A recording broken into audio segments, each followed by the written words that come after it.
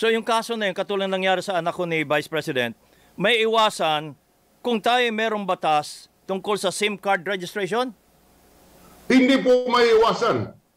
Ngunit, mayroong, mayroong remedy ang biktima. Oh. Ibig, ibig, parang sa libel, eh, pwede sila isampahan ng libel or damages ah, dahil kilala sila. Ah, Ngunit mahabol. sa ngayon, Mahabol. oo, ngunit sa ngayon kabayan, eh, Yeah. hindi mo makilala kung sinong sasampahan Wala, mo ng kaso. Oo. Uulitin ko lang, hindi po pinagbabawal ng amendment natin Okay. ang paggamit ng social media at paglagay ng madalaswang uh, insulto. Oo. Hindi po pinagbabawal yan. Walang prior restraint. Hindi po Okay. pinag walang prior restraint. Correct. Ang sinasabi ng proposed amendments ko na dito, eh, pwede, sige, gawin mo. Ngunit may pananagutan ka kung yan po ay labag sa batas. Oh, parang kami mga broadcaster. Pag kami Yes. nag-broadcast dito Oo. ng paninira na hindi naman totoo, pwede kami Oo. habulin. Pwede kang sampahan ng kasong libel. Ngunit kung ikaw, kabayan, ay troll lamang, Oh.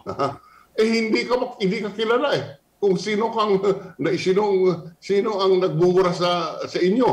Ha? Sino nagbabastos ah, sa isang tao. Kaya po ah, itong ating ang ating amendment ay magsa- nagsasabi humarap uh, pwede kang ah, i-identify sa isang proseso pwedeng i-identify kung sino po yung Habulin. uh, uh, gumagawa ng malas ng uh, salita. Hindi rin nyo, syempre, hindi nyo pinagbabawal ang fake news. Pwede kang Ay, maglagay ng fake news. Hindi, hindi- hindi po pinagbabawal ang fake news. Okay. Patuloy po yan. Ang importante lang, malaman natin kung sino nagkakalat nito Nagkakalat ng fake news.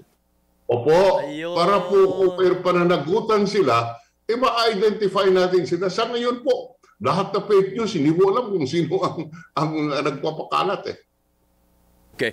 So, ah, hindi kaya itong batas na ito ay nataon sa eleksyon na kung inaprubahan at pinirmahan ni Presidente, marami po ang masasagasaan dahil sa halalan? Ang maraming masasagasaan na gumagamit ng hindi tama Yun. sa social media. Okay. Yan po, wala namang, yung halalan, halalan nangyayari uh, bawat tatlong taon eh. Patuloy po yung debate sa halalan kung minsan eh, may, may mga fake news. Hindi po pinagbabawal yan kung inaproba itong batas na ito. Ang, ang sinasabi lang natin, sige, pagpatuloy mo yung fake news, sige, patuloy mong uh, sirain ang, ang, ang, ang isang uh, mamayan. Ngunit kailangan may pananagutan ka naman. Kagaya mo, ka- kabayan Noli, kung kayo po magkakalat ng isang masamang uh, libelous remark, eh, pwede po kayo sampahan ng kaso dahil, yes. Oh, madali kaming habulin. Oh. opo, no, at, at alam eh kung sino kayo. Correct, Eh, correct. yan, po, yan lang po ang pakay nitong ating proposed amendments na kailangan makilala naman kung kailangan. Kaya po dito, simple lang, nanalo po ang troll dito sa pagbito Oo. ng Trolls, fake news, everything na nakaka nakakasira sa isang tao na hindi mo naman pwedeng habulin kung sino ang dapat managot. Yun ang mangyayari. Dapat, yan po, at ulitin ko lang, hindi po natin pinagbabawal ang fake news. Hindi po natin pinagbabawal murahin at, ah, at, at, at insultuhin ang isang mamamayan.